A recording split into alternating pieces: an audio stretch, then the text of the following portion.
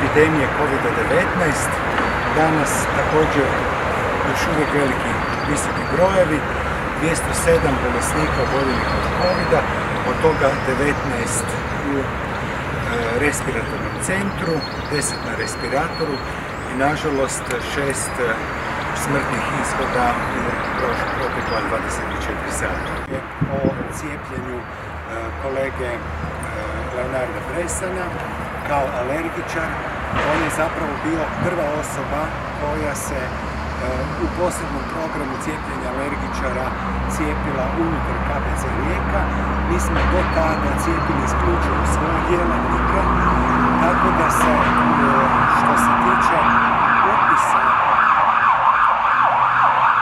što se tiče upisa podataka, e, tu je došlo do e, pogreške u našem informatičkom sustavu. On je bio prvi i zapravo je to na neki način bio pilot.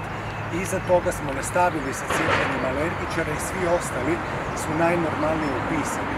Kako e, ti podaci tog jednog, nažalost, te jedne iznimke, poštovano kolege Bresana, e, iz našeg sustava nisu naslijeđeni dalje, dakle nisu ušli u CEZIH i u nacionalni program Cijepi oni tamo nisu niti mogli biti.